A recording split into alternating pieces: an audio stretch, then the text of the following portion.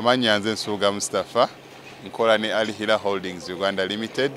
Tuli bakozi ba biodigester wamu n'okuzimba okw'enjawulo. Uh, tuli mu kizimbe kya commercial kwegamba kale arcade mu lulimi olumpimpi.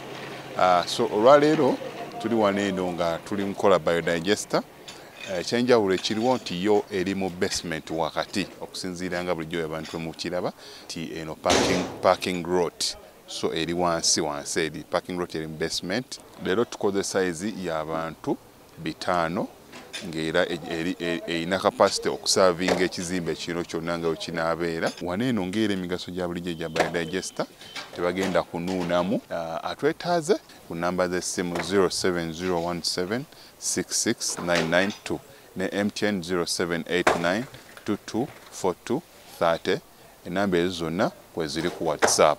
Abantu bafadde batulaba embe mu, mu videos enkadde mm. badde nga batumanyidde kololo Okay. uh, Prince Charles Drive naye kati twavaayo. Twala omukisa guno mbagambe nti nno twavaayo kati twadda ku Grand Imperial Hotel Mm. uh, room 28 first floor. So twavaayo. Enamba zaffe ez'essimu zonna zonna zikyaliko nga bulijjo. Just nti twakyusa location